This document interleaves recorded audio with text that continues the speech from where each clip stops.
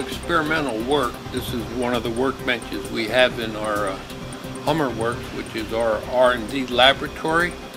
And we were checking out a few things. This is one of our surface mount circuit boards that we use in our soldering stations. And uh, we've been troubleshooting some of these surface mount components. What's nice with uh, these EZP01 probe is we've taken some components off there and if we want to check the value of them it's quite easy. You just can squeeze like that's uh, 300 and some ohms and then you'll notice just a little lower around the 200 mark.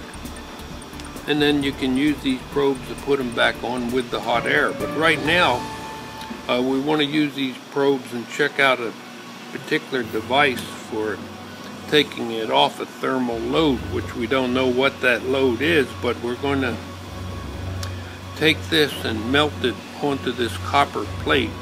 That will simulate the circuit board that this component's on.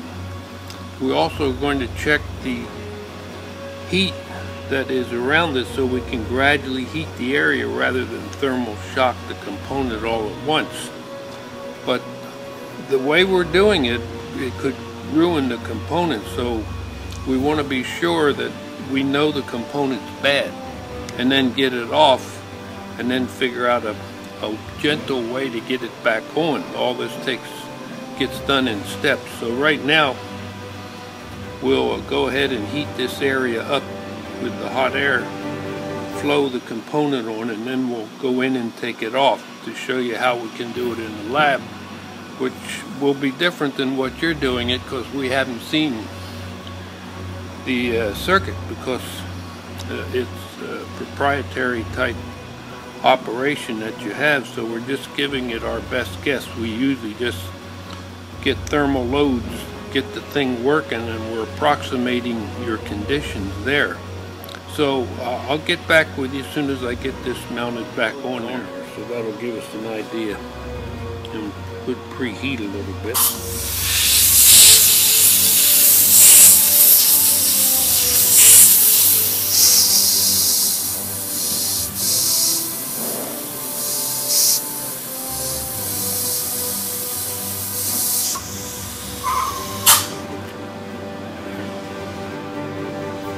Come off pretty good.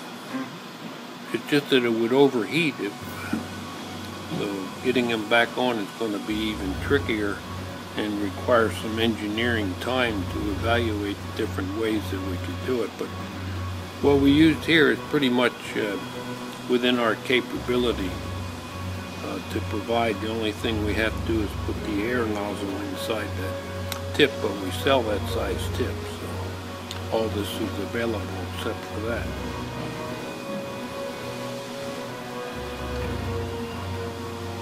Well, that's the work that we've done on this so far. We use our probes here. Works nicely for picking these up. You sure see that that's still pretty good shape.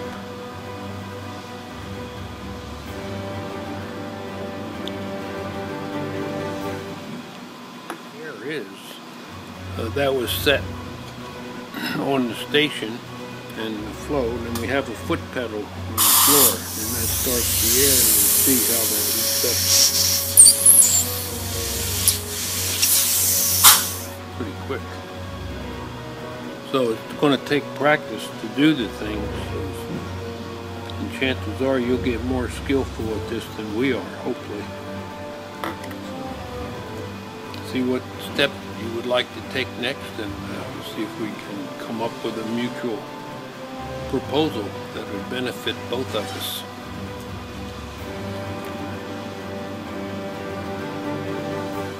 So this is soldering 101.